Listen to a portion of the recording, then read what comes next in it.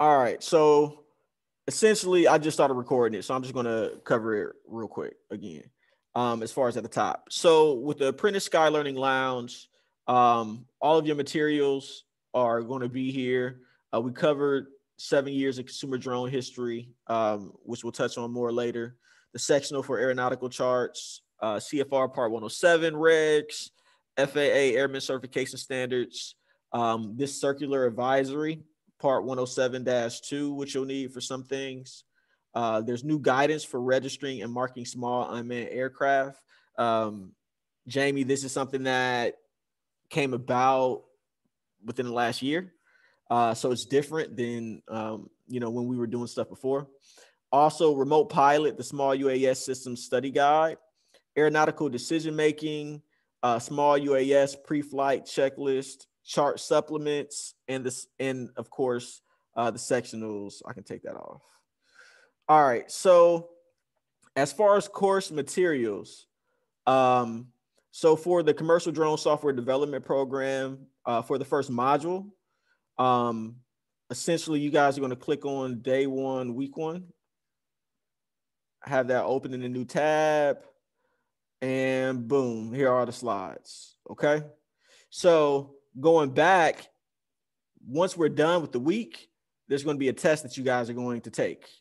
And then with the test, um, when you guys are done, I'll just get the results right? Like it's pretty freaking awesome. Like no more handing out paper, you know, no more any of that, right? Um, and then also if you guys haven't taken the opportunity, make sure that you guys um like during your break, uh, make sure that you guys go back to the information marketplace and sign in.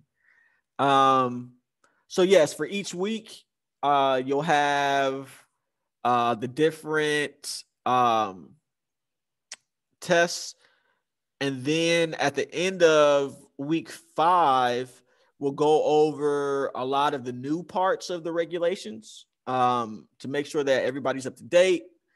Week five, you guys are going to take an online practice test. And then week six, you guys are going to actually take the recurrent test, uh, which is the test that I have to take. But you guys can take it uh, for free at no cost to you, even though it won't count. Um, so, at the end of this, you guys should have a really, really good idea about um, about what it looks like, um, you know, what the test feels like, what the information is, uh, etc. So what we're going to do now is um, we're going to start diving into the content. Let's see.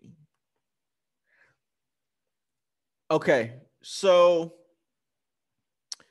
First is uh, the ABCs of UAVs. So we just gonna we're just gonna go and just cover um, the industry. There's a couple of updates uh, as far as the industry outlook is concerned, but we'll just touch on it. So analysts predict the unmanned aerial vehicle spending will reach 89 billion worldwide by the year 2023, according to the Teal Group. Forecasters estimate the domestic market in the U.S. will reach 82.1 billion by 2025. And this is actually an old estimate. The new estimate is that UAV global revenue generation expectation in 2028 will be 500 billion. Um, and so it went from up top 89 billion worldwide by 2023 to five times that in five years, right? So you're talking about a growth of of 100 billion dollars per year by the year 2025 okay 70% of the estimated 100,000 jobs will be created within the first 10 years of widespread commercialization i used to look at that wrong. I used to think that that meant that as soon as the uh, regulations come down and you can become a drone pilot that within 10 years of that there would be 70,000 jobs. That's not how i look at it now. I look at it as 70,000 jobs within 10 years of widespread commercialization. So, meaning more so, you know, when you're seeing drone technology all over the place, when you're actually seeing drone deliveries on a regular basis, 10 years from that, from that time. Um, the global market in 2021 is is about 21 billion Um, so there's a new video. Um, there's a new video on commercial drone history. Um, and I'm trying to think about if it's going to be longer than um if it's going to be longer than our break will be. Um, let's do this. Uh, let's go ahead because our thing is about to wind down. This will give me time to call Tia. Um, let's reconnect again at 11 o'clock, and then we'll start with the video of history of drones, and then we'll kind of just start digging in from there. Okay, how does that sound? Yep, that's cool. Okay, all right, we'll meet back here again at 11. Okay. All right. All right.